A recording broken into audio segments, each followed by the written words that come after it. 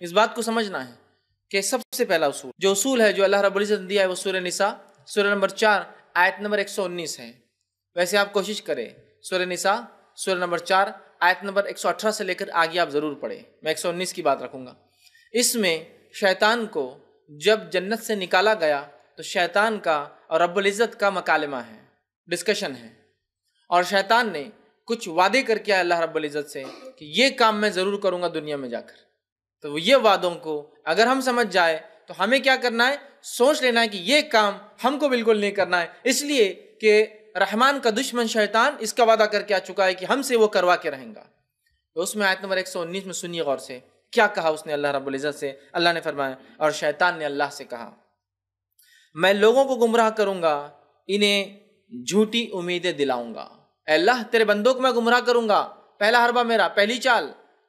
झूठी उम्मीदें दिलाऊँगा। पहली चाल, आगे फरमाया, इन्हें हुक्म दूँगा कि जानवरों के कान को काटें।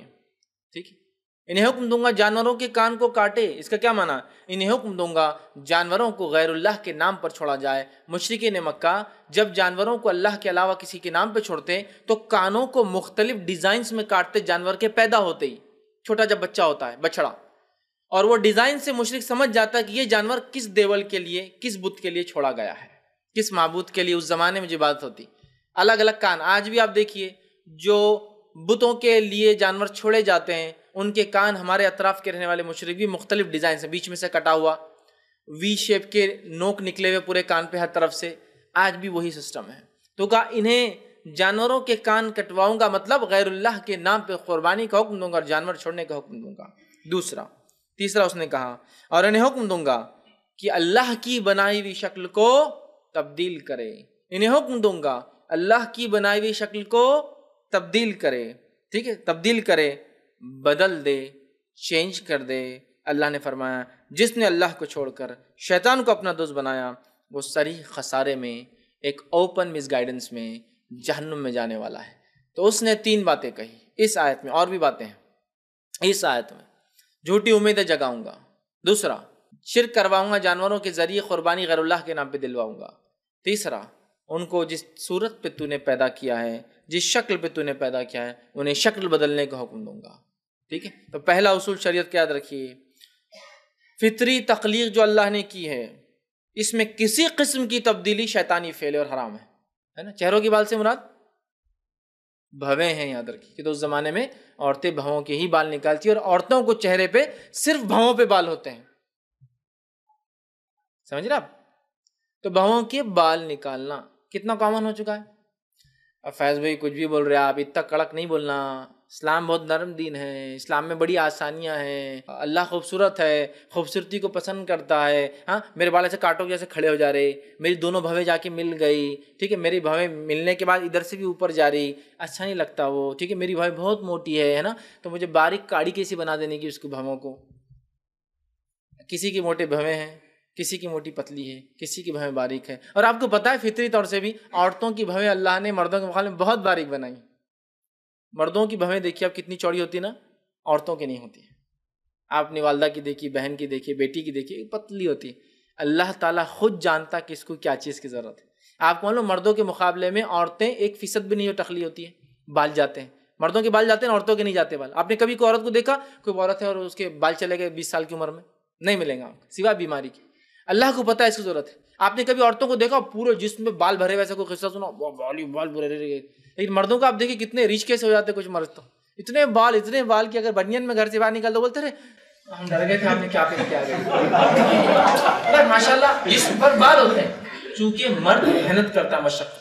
और बालों के नीचे सुराख होते हैं जिसमें। जो क्या करते हैं बॉडी टेम्परेचर को मेंटेन करने के लिए पसीने को बाहर जाया करते हैं। और औरतों को वैसे मशक्क़त काम नहीं करना है। अल्लाह ने फितरी तौर से उनको बाल कम दिए। ना हाथों पर बाल दिखेंगे, ना पैर। ये अल्लाह ताला बेहतर जानता है उसने क्या बनाया मेरे भाई। आप क्यों समझ रहे कि इससे मैं खूबसूरत लगूँगी? इससे आप बदनुमा।